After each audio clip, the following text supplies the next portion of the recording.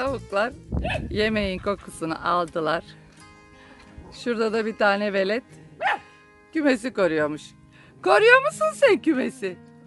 Ha? Beni bir gördü, bir havlıyor bir görün. Şimdi bakın şu güzelliklere evdeki karpuz kabaklarını, kabuklarını getirdim. Atacağım. Aman bakın bakın bakın.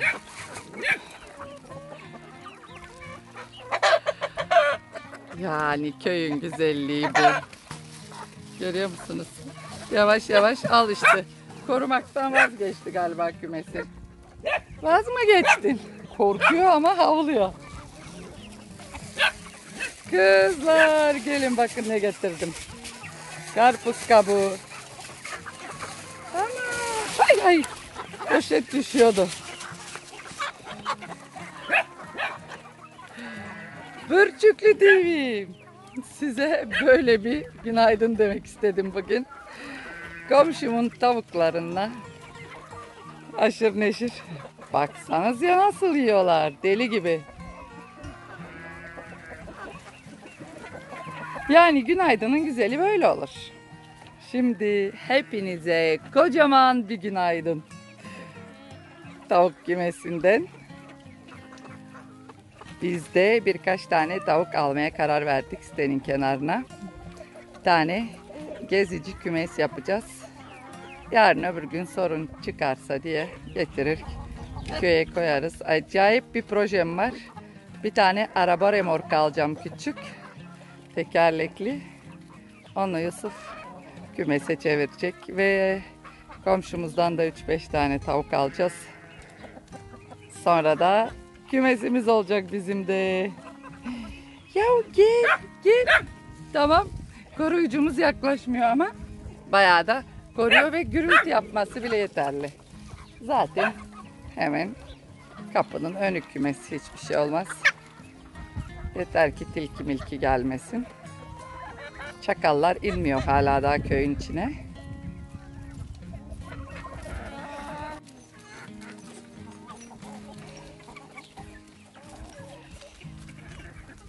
Şu güzel manzaradan sonra şimdi bahçeye devam. Kahvaltımızı edip çalışmalarımızı sürdürelim. Ne kadar iş yaparsak o kadarısını çekerim.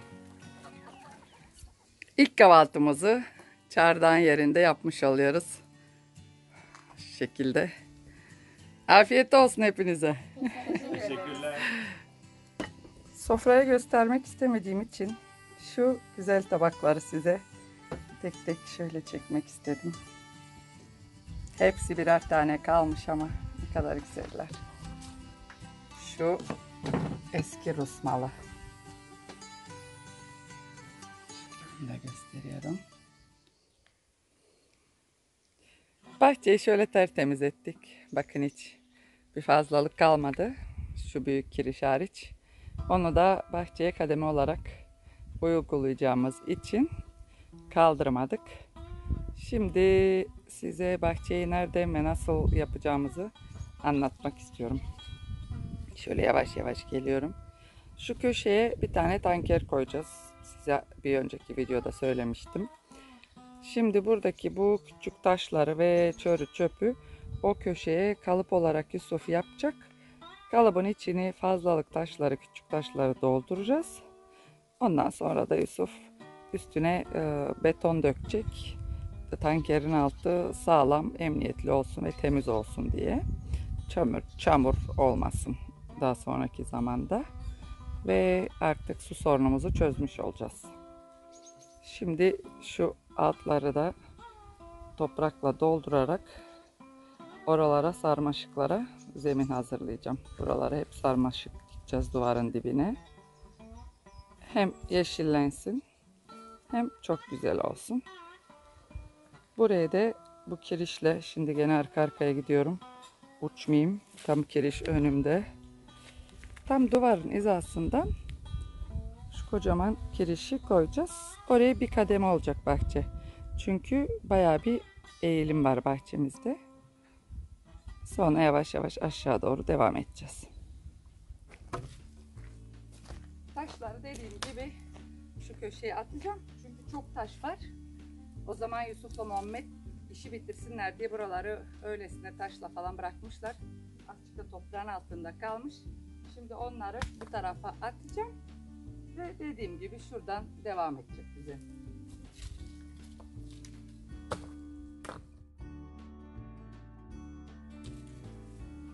Sanki hiç yokmuş gibi gözüküyor ama o kadar çok iş var ki.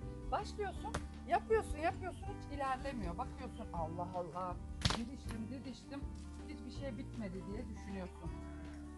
Şalımı takmam lazım. Derime alsın diye. Azıcık çalışayım öyle takarım.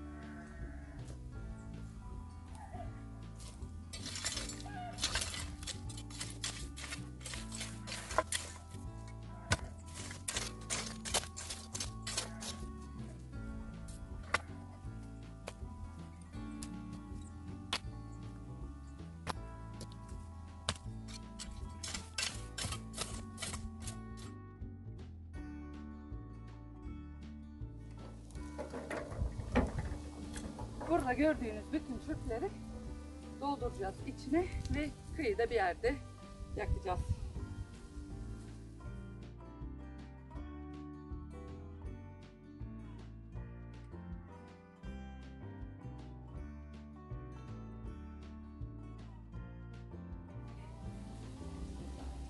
Bu gördükleriniz odun parçası. Yani çöp dedim ama bunları sonra çok güzel bir şekilde toprağa karıştıracağım. Çünkü bu kül antioksidan oluyor ya.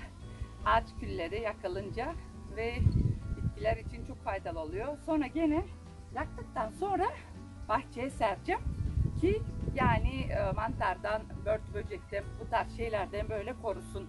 Buraya ekeceğimiz sebzeleri hem toprağı zenginleştirmiş olacağız. Kül- Külün içindeki e, minerallerle.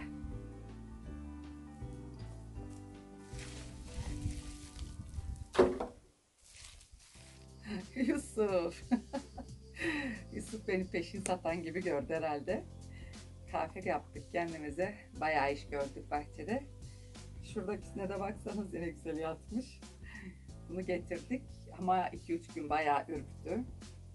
Alışamadı buranın e, doğal hayata. Tabii Ç- Çanakkale'de doğal hayatın içinde yaşıyoruz ama burada e, bayırın yani ormanın hayvanlarının seslerine alışamadı. Dur yavrum dur.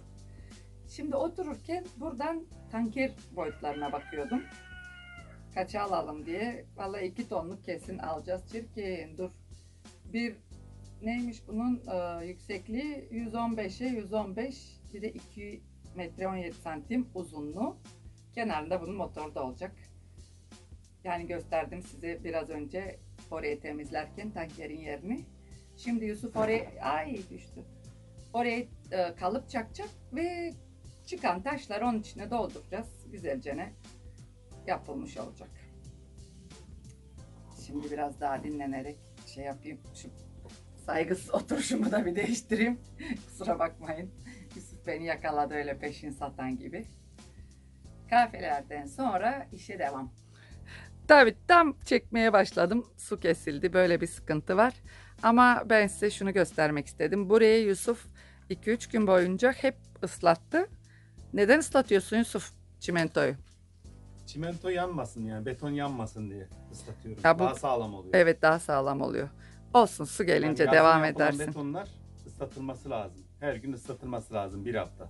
Bir hafta boyunca. Bir hafta boyunca ıslatılması lazım ki yanmasın. Duydunuz sayın seyirciler değil mi?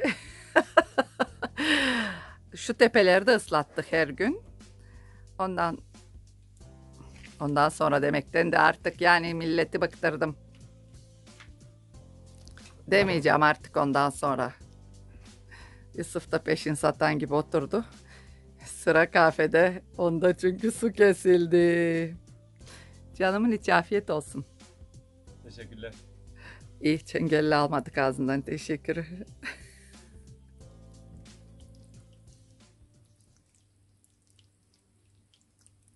Sesi duyuyor musunuz? Bu beton suyu içine çekiyor. Bakın şurada kabarcık bile oluşuyor. Ve beton sağlamlaştığını Yusuf söylediği gibi. Şimdi burada gördüm ve çok şaşırdım. Mesela bakın bildiğiniz sanki nefes alıyor. Bakın şimdi şurada tam şurada.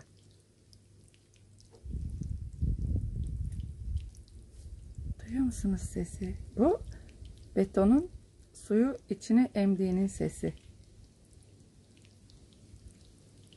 Ve bu şekilde sağlamlaşıyormuş. Islatıldıkça güçleniyormuş.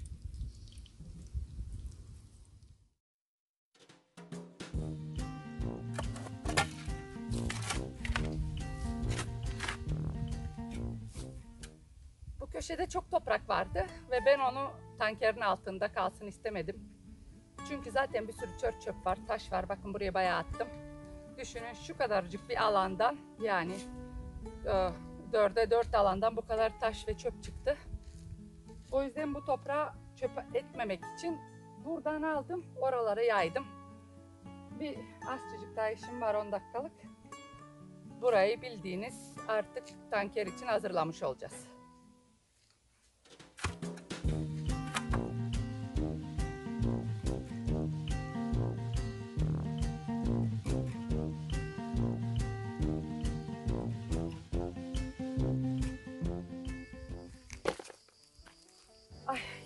Mola.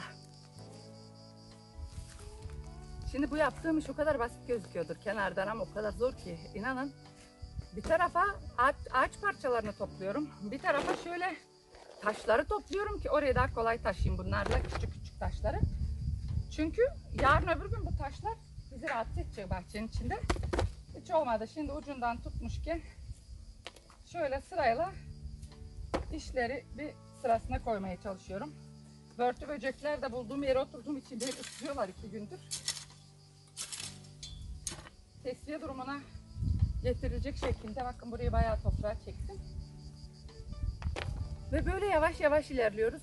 Bahçe bittiğinde zaten nedir adı evin çoğu bitmiş olacak gibi. Evin içine Yusuf artık böyle onun yapabileceği işleri yapacak. Ev daha çabuk toparlanacak. Ama bahçe çok önemli. Biliyorsunuz buralar ne kadar kötüydü bir hafta on gün önce. Şimdi bahçe zaten e, açığa çıktı. Evin yüz görünümlüğü de bahçede. Evin en güzel yeri bahçe olur her zaman. Şimdi hemen şunu gene yayacağım içinden taşları alarak. Bunları da buraya savuruyorum. Sırayla böyle yavaş yavaş ilerliyoruz ama ay gene çarptım kendimi sakatlanacağım ben bu evde bir gün bir gün derken. Ya iş kolay da bu video bölümü de insanı çok yoruyor.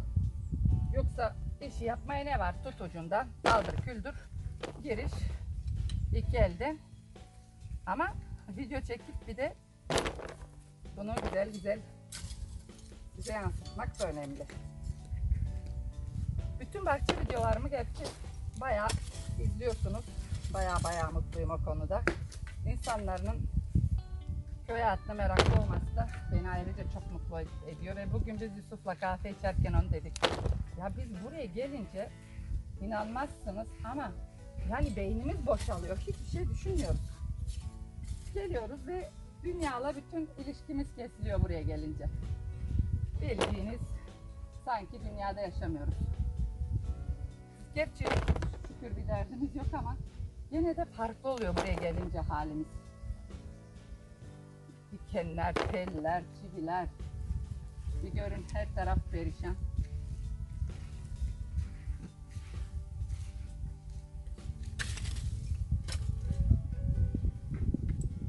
Toprağı istesem bir kere de çekeceğim bu tarafa. Ama çekmek dert değil. Konu içindeki taşları almak dert. Çünkü yarın öbür gün biz buraya bahçeyi çevirdiğimiz anda top bir vuracağız çapayı. Alttan kocaman bir taş. Bir vuracağız çapayı bir sürü çakıl. Ee, işi baştan yapmak lazım. Aman bu da beni sakatlayacak. Bakın her yerden taş çıkıyor çünkü. Kısmetime de hava gene çok serin biliyor musunuz şu anda bakın. Yani çok terliyorum çalışırken şalımı çıkarmıyorum ama yani belki duyuyorsunuzdur. Hafif hep esiyor. Böyle serin bir esinti var. İnsanı ne susatıyor ne yoruyor bayağı keyifli çalışıyorum yani. Her zamanki gibi dört ayak üstüne düşmüş oluyorum. Hadi ben devam edeyim.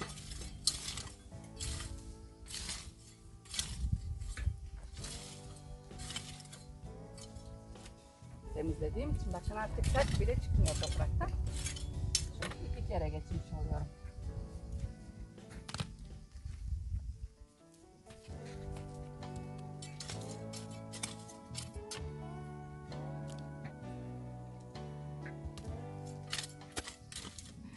Herkesin kendine göre bir işi var. Berisa resim yapıyor. Sahirala arkadaşı karşıda oynuyorlar. Komşunun bahçesinde kedilerle. Buradaki kedimiz de çirkin. Dün bize acayip stres yaşattı. Yani bir anda buraya geldi, buraya garipsedi, dağ tepeye kaçtı, gel diyoruz, çakalların sesinden korktu. Baya baya merak ettirdi gece saat bir buçuk ikiye kadar merak içinde bıraktı bizi. Hemen kesiyorum. Yusuf delmeye başladı.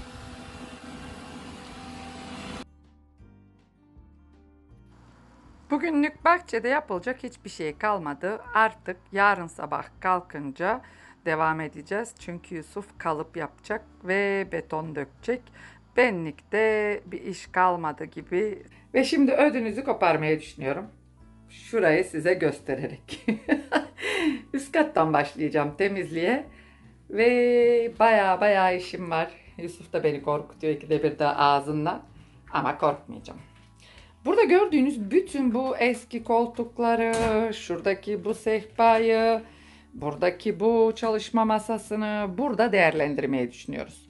Burada bir sürü eşya var. Hani biz kullanacağız şu storeları. Şurada gördüğünüz bakın şu aynayı, şuradaki hmm, şifon yeri, Burada arada avizemiz var gözükmüyor. Buradaki bütün eşyaları evin içinde bir şekilde değerlendireceğiz. Şimdi aman düşecektim. Şuradaki odadan başlayayım. Burası küçük odamız. Burayı her halükarda ardi olarak bırakmayı düşünüyorum. Yarın belki Yusuf şu camın sıvasını yapar, bitirir ve burayı bir şekilde kapatırız. Ondan sonra da bütün evin içindeki fazlalıkları buraya güzelce dizeriz. Kullanmamız gerektikçe onları alıp tamir eder, evde değerlendiririz. Sırayla bu kapıları böyle çirkin gözüktüklerine bakmayın. Yusuf zımparalayacak. Şu kapı da öyle. Biz bunları çok güzel resimlerle süslemeyi düşünüyoruz. Şimdi bu en berbat oda şu anda. Çünkü her şeyi buraya tıktık. Ve size bir şey göstereceğim. Tepeden düşene, düşen toprağa bakar mısınız? Şöyle elimle çizeyim de farkı görün. Hatta görünmüyor bile. O kadar çok ki. Altı görünmüyor. Ve Yusuf'un yaptığı cila çöp oldu. Neyse ki adam usta. Tekrar yapacak. Buradaki bütün eşyaları çıkaracağız ve buraya yatak odamızı yerleştireceğiz. Yatak odamız antika bir yatak odası. Daha getirmedik Çanakkale'den. Aman ne buldum size göstereyim. Diyorum ya ben çöpçüyüm diye. Ama böyle bir güzellik var mı şu anda? Şu anda böyle bir mobilya yapılıyor mu? Bunun hikayesini anlatayım mı size? Şurada parçaları var. Şöyle bakın çok güzel. Gülesim tutuyor aklıma gelince. Şöyle hem çekeyim hem anlatayım. Kavanozlara baksanız ya tertemiz getirdim ben bunları Çanakkale'den. Şimdi burada salça yapacaktık. Hatta Lutinitsa'da yapacaktık bir ay sonra. Ama yıkayacağız artık yapacak bir şey yok. Sahira'ya hamileyim ama bayağı bir hamileyim. Böyle bir 6. 7. aydayım. Kapının önüne komşuların biri o gardırobun ayaklarını böyle tablo olarak atmışlar. Ben de bir gördüm. Hemen koştura koştura heyecanla çıktım yukarı dedim ki Yusuf hemen gel bana yardım et. Ne oldu dedim. Dedim ki bir tane tablo gördüm aşağıda tek başıma alamıyorum. Senin yardımına ihtiyacım var. Adam tabii dedi ki sen deli misin çöpten gene bir şey alacaksın. İnsanlar bize gülecek. Biraz çekingen her zamanki gibi. Dedim ki aman gülen de gülsün. Çok da umurumda değil. Gelmiyorsan ben gider alırım. Tabi adam benim dengesiz deli olduğumu bildiği için ne yapsın? Hemen koştura koştura çıktı.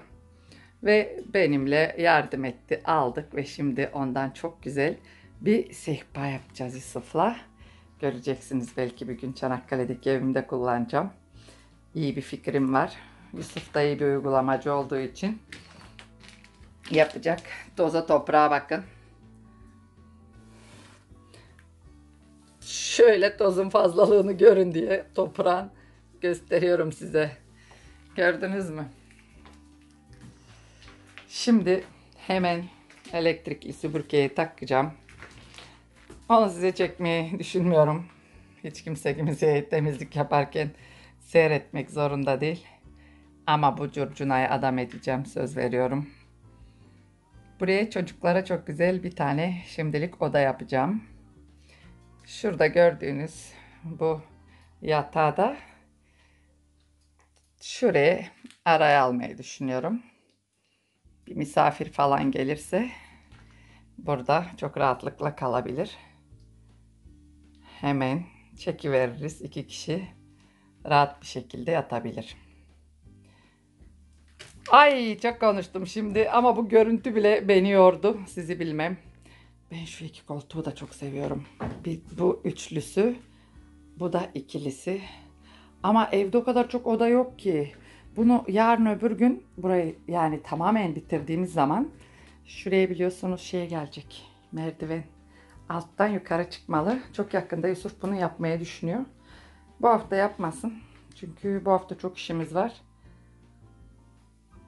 Ama şöyle gösteriyorum. Şuradaki camı da pek beğenmiyorum. Bunda tek bir cam yaptırmayı düşünüyorum Yusuf'a. Var dışarıda camımız. Kocaman bir cam olsun. Tuvaletimiz zaten içi dediğim gibi hazır. Ama yukarıdan dökülen toprağı size göstermek istiyorum. Ben buraya geçen hafta yıkayıp gittim. Bakın toprağı. Bir de şu anda hala camı yok ya. Camı da olmadığı için böyle rezil bir durumda. Şimdi kapıda ayarlıyoruz buraya. Onu da halledeceğiz. Şu üçlü koltukla tekli koltuğu şuraya tam bu köşeye koymayı düşünüyorum. Ve evin son bitmiş halinde çok güzel olacağından eminim.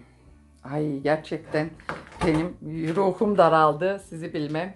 Şimdi videoyu burada sonlandırayım ve işe girişeyim. Bitince de son güzel halini gene değerleyip topladıktan sonra size çekmeyi düşünüyorum. Haydi biraz sabır. Şöyle bayağı temizledim. Şimdi size ne göstereceğim. Mest oldum. Biraz önce harika bir türkü çaldı. Şimdi de böyle görüyor musunuz emektar Yumatu nasıl söylüyor şimdi dinleyin. İçinde kaset de var ama kaseti çalıştıramadım. Yarın Yusuf ona bir göz atması lazım. Şu anda Azerice bir parça çıkacak. Bütün Azerbaycan'dan seyreden herkese sevgiler yolluyorum. Azeri kardeşlerim bu parça size. Dinleyin bakayım.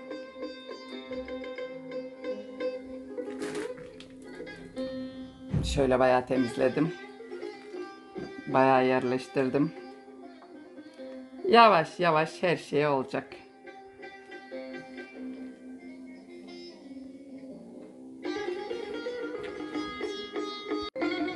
Kesin şimdi diyorsunuzdur. Bu kadın kafayı sıyırmış. Bir oraya göstere gidiyor, bir buraya geliyor. Kırık dökük evlerle uğraşıyor. Ama arkadaşlar hayatın tadı böyle çıkıyor. Azıcık deli olmazsan çekilmez bu dünya. Bu sahtekar ve riyakar insanoğlu çekilmez. Ya işte Azeri kardeşler size bir parça. Haydi bakalım. Sahira.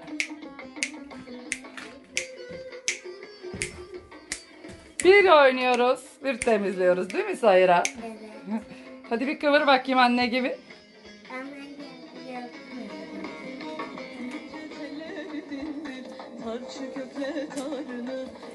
Tüm Azeri kardeşlere gelsin.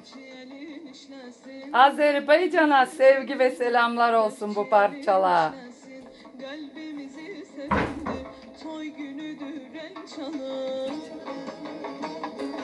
Toy günüdür el çalın Oğlan git kız kaşın Kız kaşar. Oğlan git kız geçen Hamı desin yürekten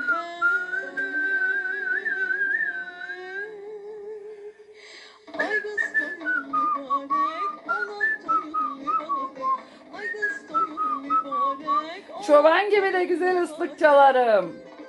Hey Azerbaycanlı kardeşlerim. Sizi seviyorum. Hiç beni yalnız bırakmıyorsunuz. Saygı ve selamlar Azerbaycan olsun.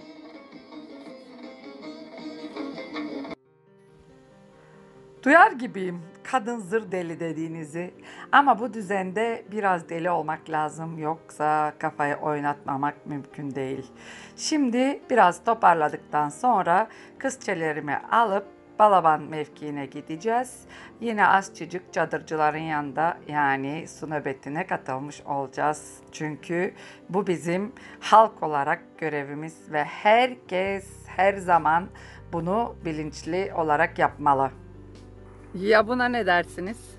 Bugün günü bununla bitirelim mi? Pürçüklü TV'lilerim. Nasıl? Değil mi? İnsanın gözü gönlü açılıyor ve dünya hala yaşanılabilir diye umut ederek bugünü de kapatalım. Hoşça kalın bugün. Kirazlı köyünden Pürçüklü TV ile kalın. Sizi seviyoruz. Siz de bizi sevmeye devam edin. İyi akşamlar.